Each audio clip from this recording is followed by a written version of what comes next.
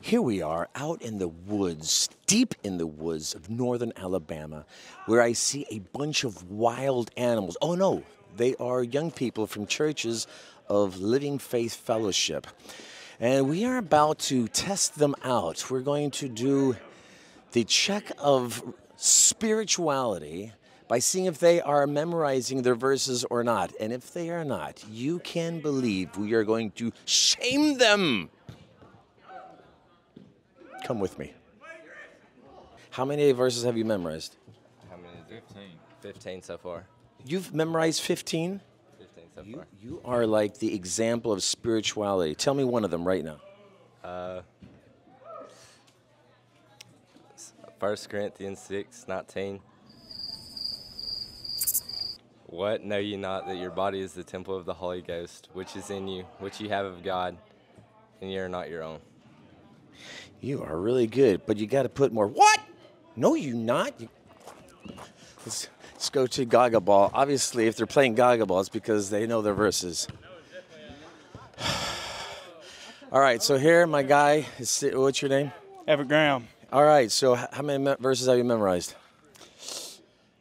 Two or three? Two or three. So you're telling me your verse game is as bad as your Gaga game because you're standing out here. All right, so here we have one of the leaders that knows exactly all the verses, right? You know all the verses? No. I love God so much. My brain is mush. I do my best. I'm just a girl. She's unclean. So uh, how about you? Which tell me one of the four that you memorized. Uh, this one's really simple, but you know, John three sixteen. Go for it. Um, but uh, Wow, and this is the simple one. Can you imagine the hard ones? We are interviewing campers, seeing how you're doing with the memory verses. How many verses have you memorized? I think like eight. Eight of them. All right, so tell me one of them. Okay. it might not be word to word. Oh, it's got to be word to word. Okay. John 3:16 For God so loved the world that he gave his only begotten son that whosoever believeth in him should not perish um, but have everlasting life. And the word is should not perish. You did that perfect. All right, let's pick on the young. Let's pick on the brother. All right. So how many verses have you memorized up until now? Uh, like me or You. uh, for God so loved the world. John three sixteen. Uh, John 3 6. What? Know ye not that your body is the temple of the Holy Ghost, which is in you, which ye have of God, and ye are not your own? There you go. See, now that's how you say it with enthusiasm.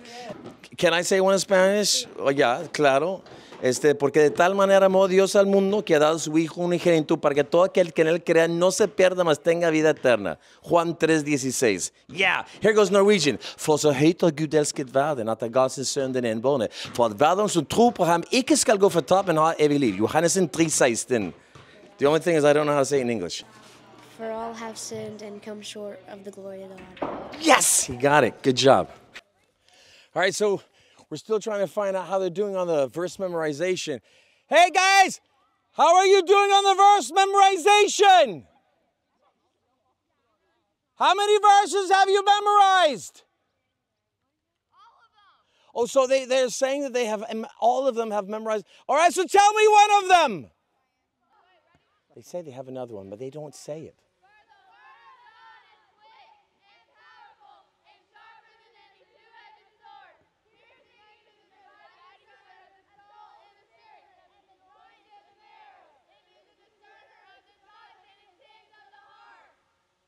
Well, here we are, and they're playing frisbee. No one here has memorized any kind of verses. I'm kind of sure about that. So we're just going to call them all unclean. No, but now seriously, I'm glad you guys are working on your verses. Keep doing that. That is a life changer. You got to meditate on God's word day and night. That's going to make you better.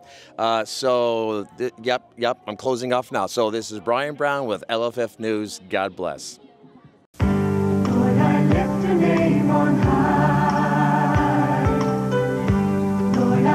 Millions have experienced the power,